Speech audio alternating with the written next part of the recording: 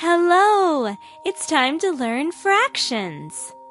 Fractions always start with one whole. For example, one whole pizza.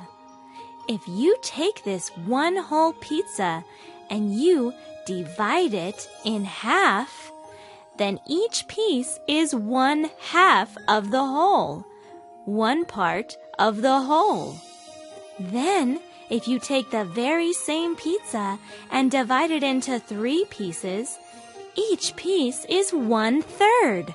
One third of a piece of pizza.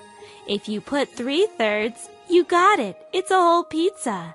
You can even divide it again into four pieces. And each one of those four pieces is called one fourth. Look, you're learning. Good job.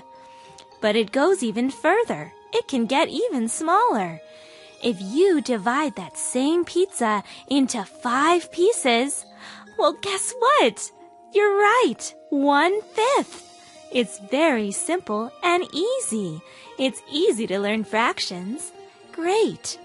As you can imagine, you can take the very same pizza and even divide it into six pieces.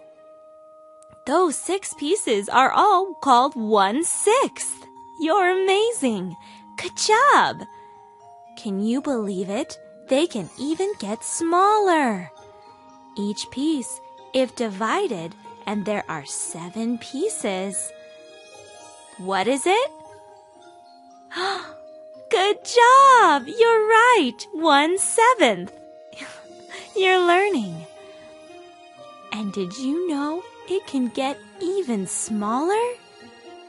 If you divide it up into one, two, three, four, five, six, seven, eight pieces, then each piece is one eighth of a whole. One eighth. Good job!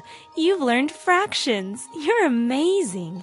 Congratulations. One, one half, one third, one fourth, one fifth, one sixth, one seventh, one eighth. Good job!